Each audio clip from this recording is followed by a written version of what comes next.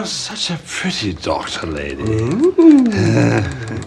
Are you quite sure this is a good idea? This is wonderful.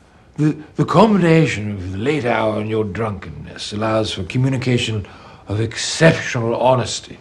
Quite right. I will call it an intoxograph, and no one shall ever regret sending one. Hello again, whiskey tippers and spirit sippers. Wun Wun back at you again, and today we're going to be getting down with my very second compass box. Today it's going to be Delilah. Gentlemen, something new? Oh, I've heard great things about this. Um, the first compass box I had was uh, the Spice Tree, and it was absolutely amazing and delicious. Um, this one is the Delilah, and it looks like I might need to get a knife. I didn't realize this was all waxed up like this. This is going to be a mess getting off. Hold up. Never taken off a wax one before. No idea if I'm doing this right. Don't want to ruin the cork. Alright, I think we got enough of it off. Let's try to get that pop. Eh, not the best, but I think it was still being held on by some of this wax. This is crazy. Why would they even do this to a bottle? This is just a pain in the butt. There we go. Something tells me that was supposed to come off a little bit easier than it was. Making you work for it. Everything worthwhile, I gotta work for it. Let's get a pour.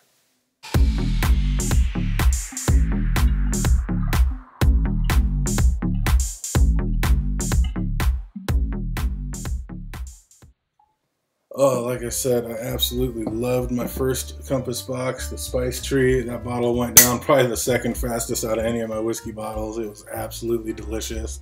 Just smooth, sweet berries and deliciousness. Oh man, this one's uh, a little bit of the same. You can tell it's uh, matured in American oak and Spanish sherry cask. And you can smell that on there. Boy, it's not a it's not like a bunch of like sweet berries jumping out of the glass like I kind of thought it was going to be. It's a little more tamped down and refined. But those berries are there. I mean, blueberries, raspberries, some honey, uh, something a little bit tart. You can definitely get a little bit of that sherry oak influence. Um, it's not super like not super sulfur, but you can tell it's there. Nothing like the Macallan 12 or anything, but you can tell it's there almost a little bit of that leather note um, because of it. I think that's what brings out that leather note is some of those older sherry casks. But yeah, that leather funk's on there a little bit, but just slightly. Uh, everything seems real refined and tamped down on this one. Wonder how it's going to taste. All right, we're going to give it a couple minutes to open up in the glass, and we'll be right back at you. Don't go anywhere. And we're back.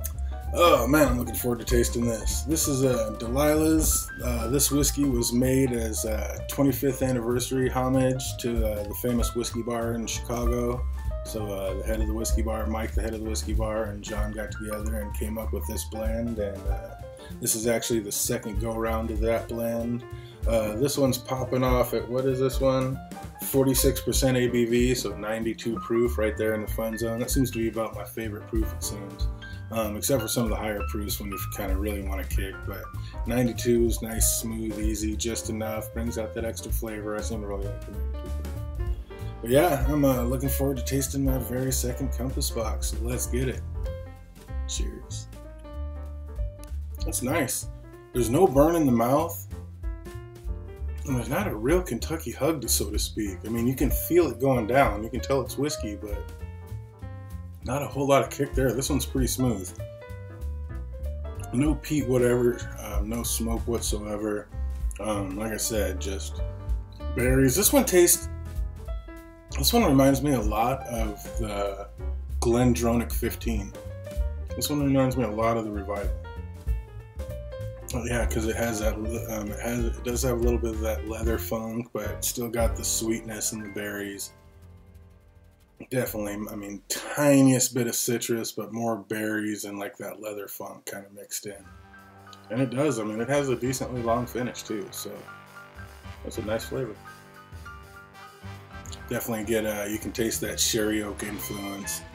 Definitely a nice, I mean, you can taste both of them. The American bourbon oak and um, bourbon oak finished, American oak finished in bourbon and the sherry cask.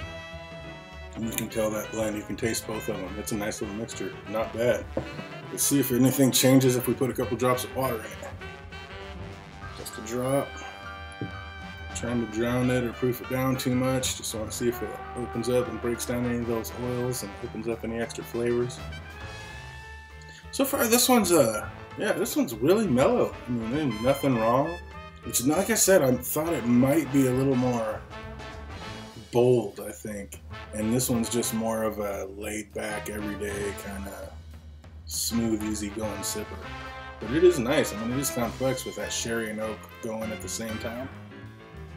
The smell didn't change too much with the water, but the taste brought out a lot more of those oak flavors. It's definitely a lot more oak flavor or forward flavors.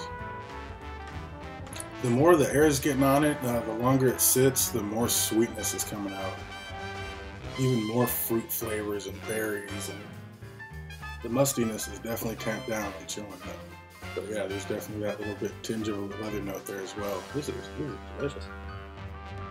So smooth. I mean, there is absolutely zero alcohol burn in the mouth. Once it goes down, there's the tiniest little roll up of a Kentucky hug, but so minute, so minute. So far, so good. Let's see how it tastes over some ice. Not the biggest cork pop, that's all right. Let's get it.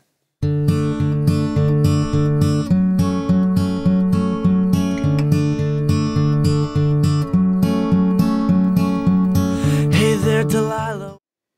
Oh, Delilah, been sitting on the shelf way too long.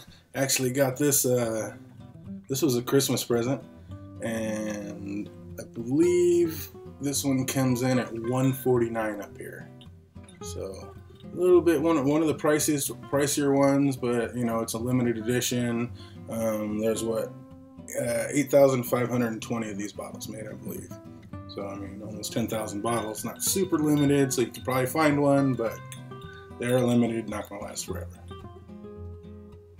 Oh boy, this one really just mm, blueberries and grapes. Blueberries and grapes. Maybe the tiniest bit of raisins in the back. Oh yeah, that's blueberries and grapes. Tiniest bit of a wood uh, wood smell in the back of it, kind of a little bit of an oak smell. Let's taste it before it gets too watered down. Slàinte mhath.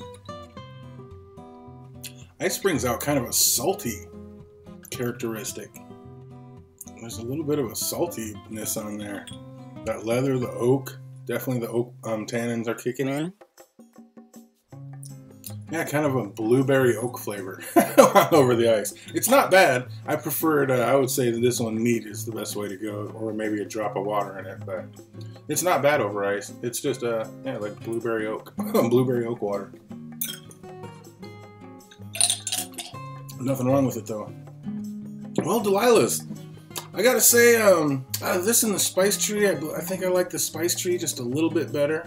But there is nothing wrong with this one. This one goes down smooth, easy, delicious.